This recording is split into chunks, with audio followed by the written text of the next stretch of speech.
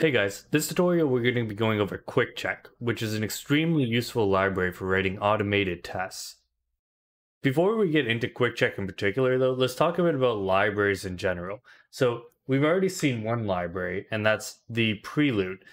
This is a collection of useful code, so this is code that is already written and there for you to use. The Prelude is the standard library, so it's just it's always there. You don't have to do anything extra to have access to the Prelude.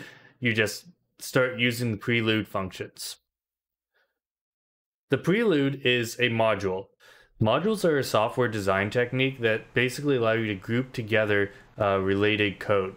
So take this bit of code for example. Like let's say you wanted to create some code to draw different shapes. And you might have a few functions for drawing like rectangles and circles and squares. And you would specify that this is a module and a module name right at the top of the file. And you would specify in this module declaration which functions you're going to export. Okay. So the idea here is that these are the functions that anybody importing this module would want to use. But then you might also have some functions that are just kind of like helper functions to the code that you're writing right now. So let, let's say like this draw function, and you don't want anybody to use it directly, but you, it's useful to the functions that um, are going to be used. So you wouldn't specify in them in the export. You would hide them away is the idea. Also, when importing a module, it's best to only specify the functions you want to input. So whenever you want to import a module, when you want to actually use one of the modules you declared, like this draw shapes mod module, let's say this is in one file, and then in another file, um, we have its own module declaration. So this would be some file like test.hs. And let's say we want to use that code. Underneath the module declaration, we would put import and the name of the module we want to import. And then we would specify in um, round brackets separated by a comma which functions we want to import from that module. Let's take a look at the two default modules we get when we create a new stack project. So we get a module lib that has one function inside it, some func, that um, basically just prints something to the screen. And we export that one function that we have inside this module. And if we go into app main.hs, okay, this is our main program here. Okay, so this is where um, if we actually compile the program, this main function is what gets run when you click the resulting program. Okay, this is the starting point of any program that um, gets created. And all it does right now is it links, it uses that some func that we imported. And you could even see um, if you installed the Haskell extension, it's suggesting that you change this import to specify that it only uses some func, that we only want some func here. So we could like add more to this if we wanted to. In fact, we could even create another file. So we could create um, a new file, let's say lib2.hs, right? And we'll put module. And what you should do is you should always call the module name the same thing as the, as the file name. You actually don't have to do this necessarily. Um, but it's it's good convention. So if we call it lib2.hs, it should be called lib2. Okay, and um, we can make a function here. Let's say we maybe this function, this library, uh, what it's all about is having different sorts of operations for adding stuff and subtracting uh, stuff together. So we'd say like add x y y, subtract x y, x minus y. Okay, a lot of this is pretty pointless because uh, you could just use plus and minus here, but use your imagination. Pretend this is something more useful. And maybe um, maybe I only ever want to use, let's say, I have a negation function. And the way I do subtraction is I do add x negative of y. Okay, and I don't really need this this negation function. This negation function is just something I expect everybody to use sub here. So I write add sub. Okay. And now let's say I want to use this new module, okay, inside of my lib module here. So I could import lib2. And do you know what? I only want to import the add function. I'm only going to use add here.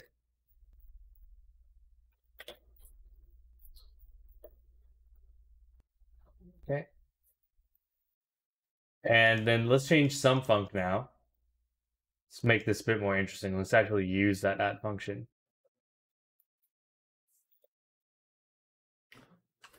One plus one equals add one one.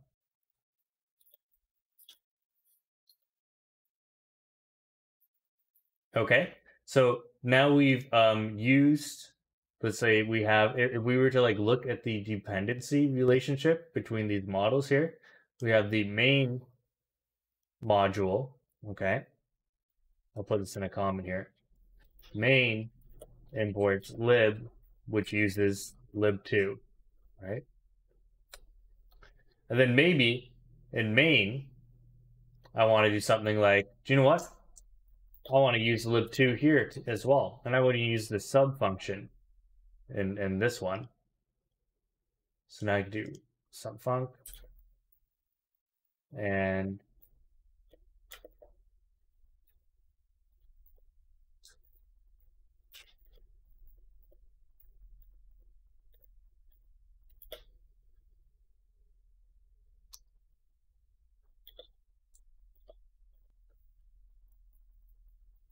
Okay. And then we could save this. Make sure everything is saved. Load it up into terminal. And do a stack run. Okay.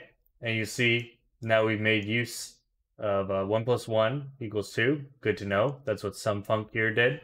And 1 minus 1 equals 0. Okay. That's what this line of code here did. Cool. We're using modules. Now, hopefully you haven't been getting the impression that modules and libraries are the same thing. Not quite. So humor me for a moment. Say you create a few modules. It could actually even be just one module, but usually it's a collection of modules. And you think, man, these modules are they're useful for more than my project right here. I could probably use this in a bunch of projects. In fact, other people could probably use this in a bunch of different projects. These modules have a bunch of um, really useful functionality. What you could do is you could package all of those modules into a library, okay? And then you could put that library into a package, okay, and make it available um, online. And there's a place, Hackage, uh, where all of the Haskell, where packages of, of all the Haskell libraries that you would ever want um, are available. Um, unfortunately, it's a little annoying to search uh, I would recommend using something called Hoogle to search it instead. So if you go to hoogle.haskell.org, you can search for a variety of functions here. So um, let's say you actually want to just know about uh, one of the functions that are inside the prelude. So if you want to look at map, okay, you can search for map. And it'll pop right up. And the first thing that shows is the um, library that this belongs to, okay? Uh, so it's part of the base library. So the base library is a library that has um, the prelude and a bunch of other modules that you don't have to really do anything special to import. You you just import, put the import for them there. So they they come when you download Haskell. They come with basically Haskell with the installation of the Haskell interpreter and compiler. So you can even click on map too, and you can see maps documentation on Hackage here. Okay, it'll bring you to the documentation for map. See, there's some other list operations. Here's the documentation for plus plus and filter and so on. Now, let's say we want to search um, for something that is inside the base um, library. So let's say quick check, which we're about to go in a second. You'll see that quick check here belongs to the quick check package. It's the first thing here. Okay, so if we click on that, you'll see on Hackage, there's a package quick check. So quick check, it doesn't just come with Haskell. Okay, it's not automatically um, installed when you install Haskell. So you can't just import quick check. You need to um, basically install it beforehand. And the way we're going to do that is through Stack. Now we've been using Stack all along, uh, but you might not have realized its true purpose quite yet, or at least all it's doing for you. So before I talk about that, I want you to make note of something on the quick check page here. There's a lot of different versions of quick check here. If you look at the side, a lot of different versions of quick check. And we're on the newest one, and you'll look that quick check has dependencies. These are other libraries that quick check imported. And you'll see that some of these dependencies are like, well, it uses this library past this version and this library past this version. Okay, so you'll you'll make note that it can be easy to screw stuff up if you don't have all of the right versions of the libraries that you need installed. So Haskell Stack has its own site, Stackage. And if you go to Stackage, you go to the homepage of Stackage, you'll notice that there are all of these releases. Okay, these LTS releases um, per GHC version. And let's go down and try clicking on one of these. Let's click on this one, LTS 14.27. Okay, and if you click on it, you'll see this is a list of packages. Okay, at a specific version. So we can search and we can see this quick check here. Yeah, it is. So we have quick check at version 2.13.2 here. If you go to the top, you'll notice that there's also a version of the Haskell compiler, so GHC, and this will include the Haskell interpreter, um, at 8.6.5. Okay, so GHC and GHCI at 8.6.5 with this LTS. So what is this here? This is this is basically a collection of packages that are known to work well together at the versions they're at for this version of the compiler. So we call this a resolver, this LTS 14.7 here, 0.27, this resolver. So whenever you build a project with Stack, what it, what's actually happening is it's using a resolver. If you don't specify a resolver, it just kind of defaults to the newest one. It uses a resolver. So it knows when you say something like, oh, I want to install QuickCheck, it knows which version to install. And it's going to make sure that that version works with the version of the compiler that you're using and any of the other libraries that you're using. So if we go back to VS Code here and we open up a terminal, so usually the way I've been showing you how to create a new new Haskell project is I just say, well, cd to wherever you want to put your project, and then enter in stack new and whatever you want to call your project. Okay, like test. Okay. From now on, whenever we want to use a library like QuickCheck, which we're going to be using basically all the time now, QuickCheck or any other library, uh, for this course, I want you to specify the resolver. Okay, so don't just go um, creating a new project that uses any old resolver, I want you to specify which resolver you're going to use. You're going to type in resolver equals LTS dash 14.27.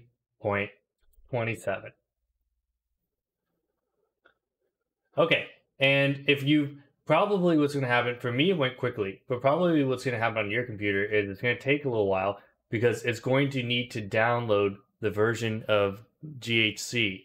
Okay, that is associated with this resolver.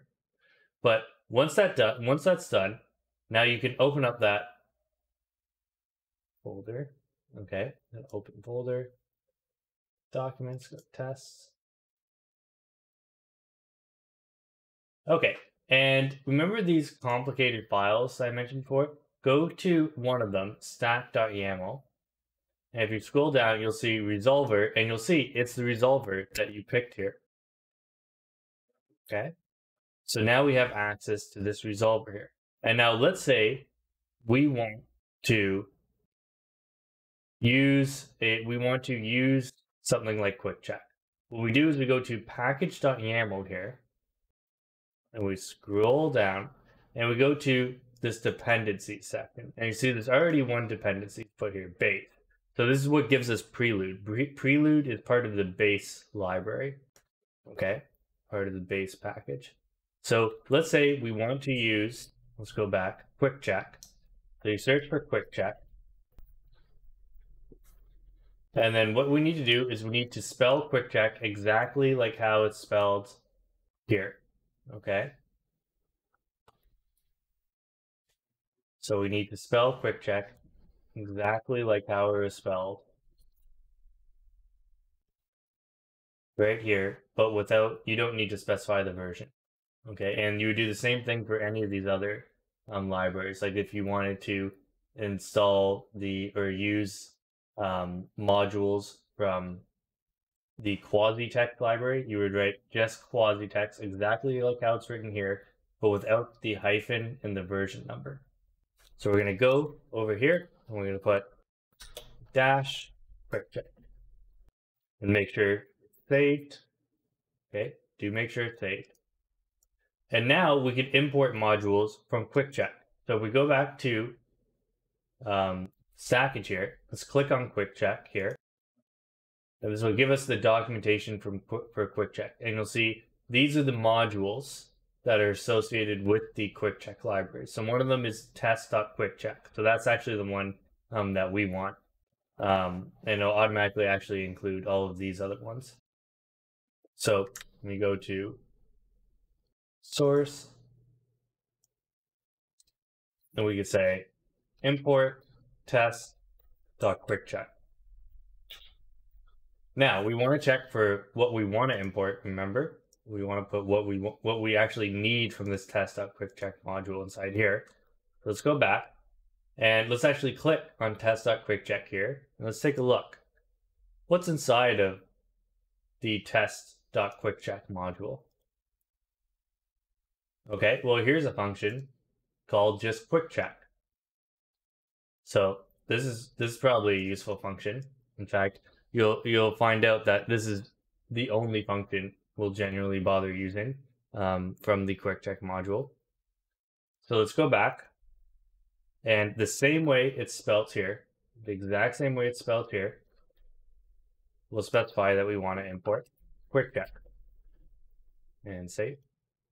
And now we're able to use the quick check function. And you'll actually notice there's some instructions on how to use the quick check function at the top here. This is documentation. Um, so let's actually, let's copy some of this code and give it a try. Just copy the same code that's here.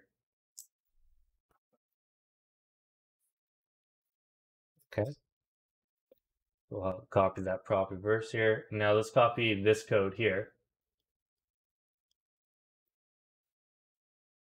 And let's put it in place of our some func here. So remember our some func here, this is what gets called by main, right?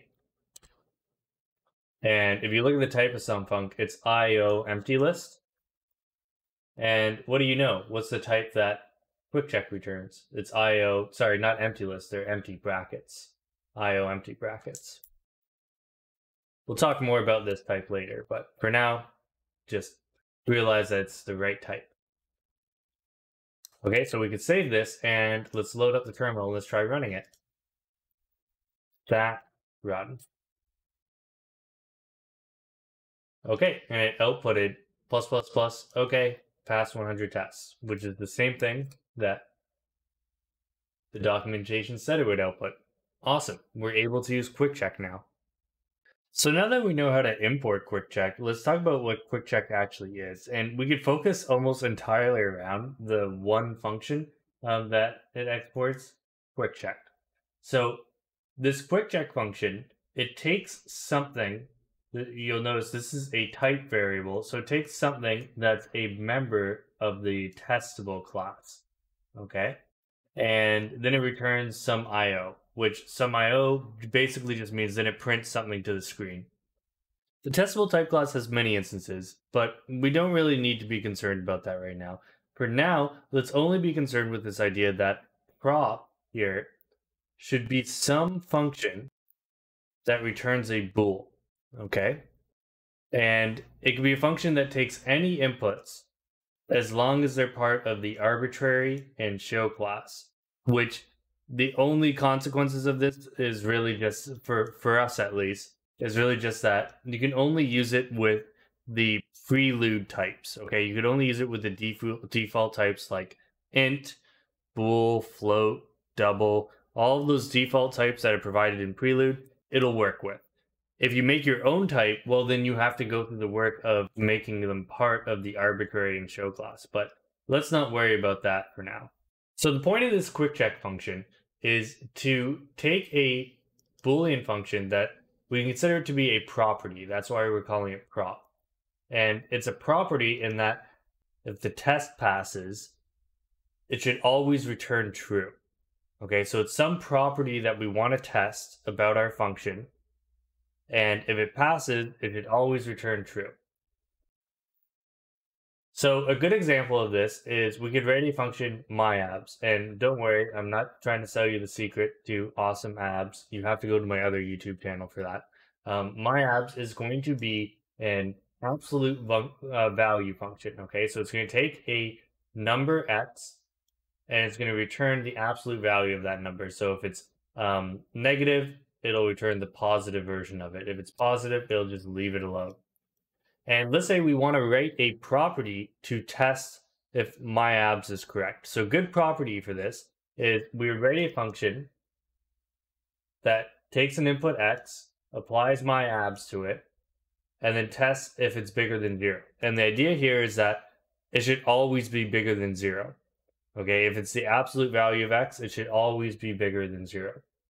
So let's go to VS Code and let's give this a try. So we have the myabs function, just like I wrote it there, and the abs prop function, okay? And we'll open up a terminal. We'll make sure that we're importing test.quickcheck, check, of course. And let's load this into GHCI.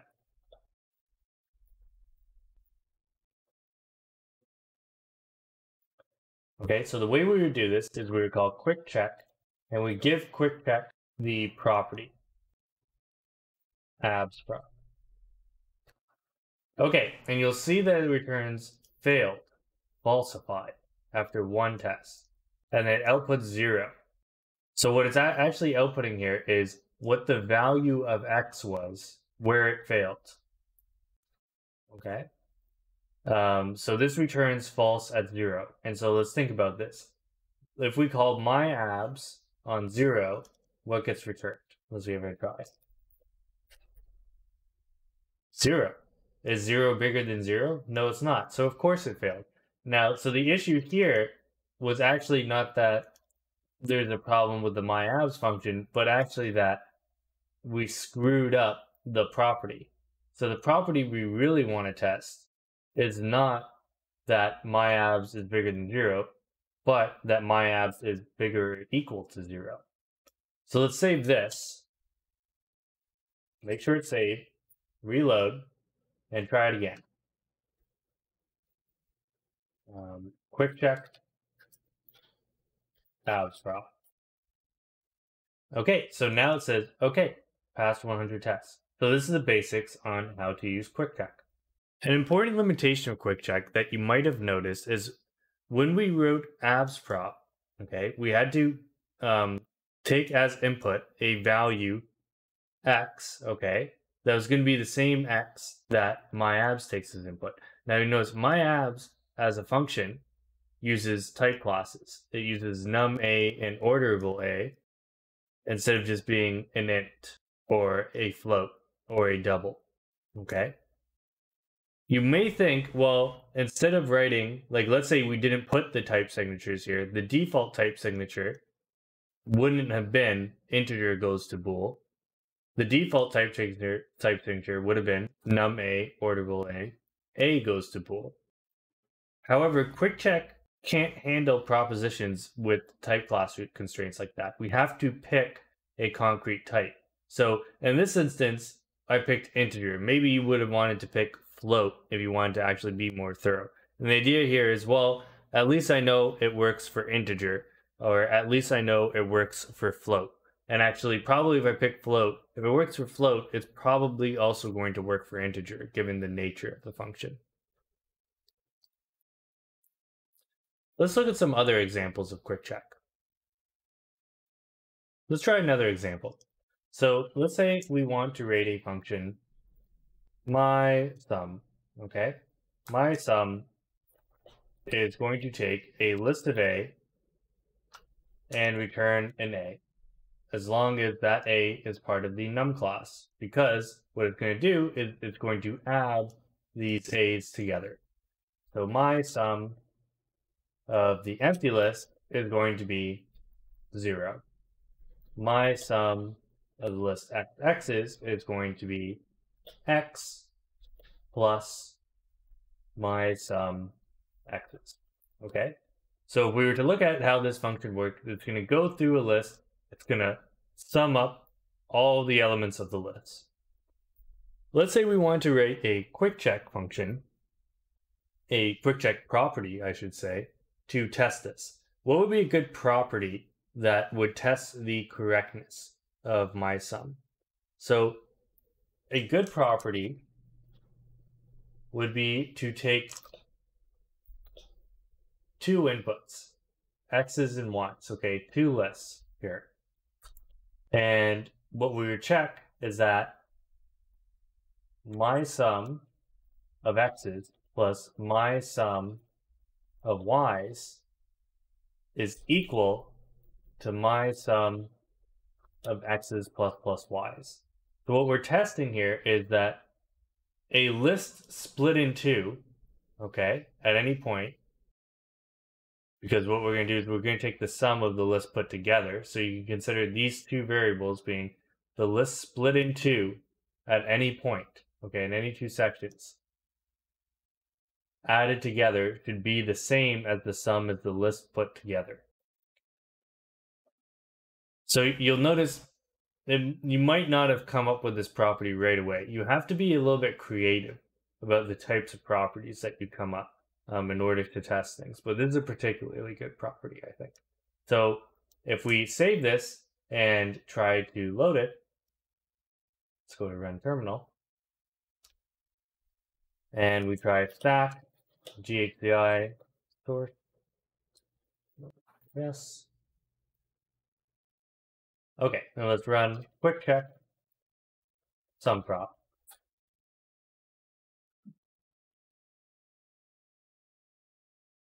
Okay, it was able to pass 100 tests here. Good. It works.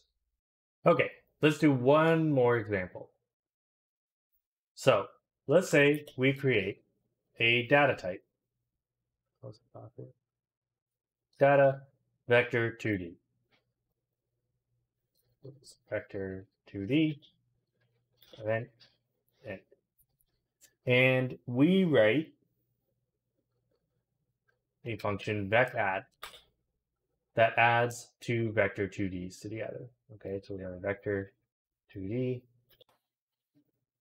0, y0, and a vector 2D, x1, y1.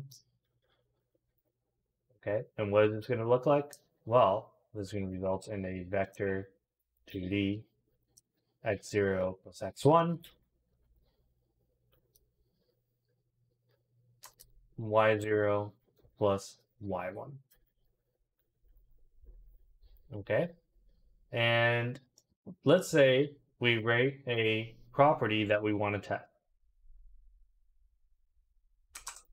Vec 0 12. And what it does is it takes a v0 as, as input and it says if you vec add v0 to the vector 2d 0 0 vector, that's going to equal the same thing as v0 in the first place. Okay.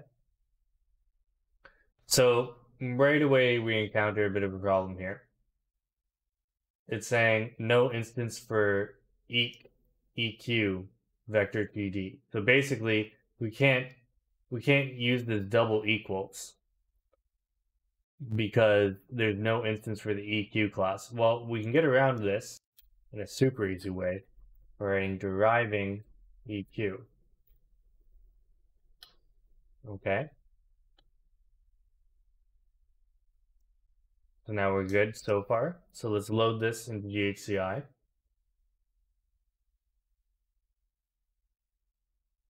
All right. And let's run vec add, or let's sorry. Let's run the property. So QuickCheck. Vec zero prop. Okay. It gives us an error. It says no instance for test.quickcheck.arbitrary.arbitrary vector 2D. So basically this arbitrary class, we need to have an instance of it in order to use v0. So so this vector, this vec0 prop, it takes a vector 2D as input. So in order to take in order to have a property that takes vector 2D as input and then uses it with QuickCheck, like I was saying before, we need to be part of the arbitrary class. So why don't we try that trick that we did before? Arbitrary. Okay, so now we're going to try and be like, well, make this part of arbitrary as well. And we'll have to import arbitrary here.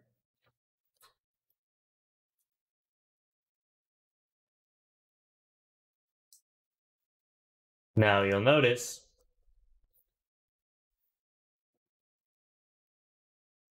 it still this still doesn't work. So the issue here is as much as I would like this to work, you can't just do this deriving for any sort of type class. Okay, so you can't do it for arbitrary. So if we wanted to make this work, we would have to write our own instance. So we would have to write instance arbitrary vector 2D where, and now this would be a whole thing. We don't know enough to do this yet. So let's throw that out of the window for now. Is there an easier way around this? So here's an idea. Instead of taking a vector 2D at input as input, let's look at what a vector 2D is. It's just two ints here, right? So let's just take two ints as input, x, y, and then we'll say let v0 equal a vector 2d x, y in this equation here. And we'll just take these two as input. So now let's reload this. And now let's give this a try. QuickCheck. Vector 0 prop. Okay, and now it works.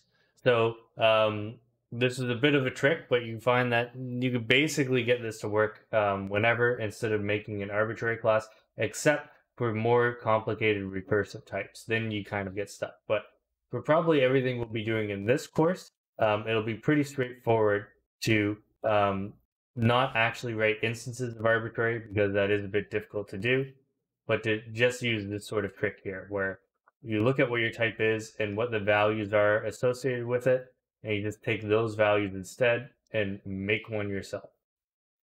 So now that you know how to use QuickCheck, you instantly become a infinitely more powerful programmer because now you're going to be able to test that your functions are actually working correctly.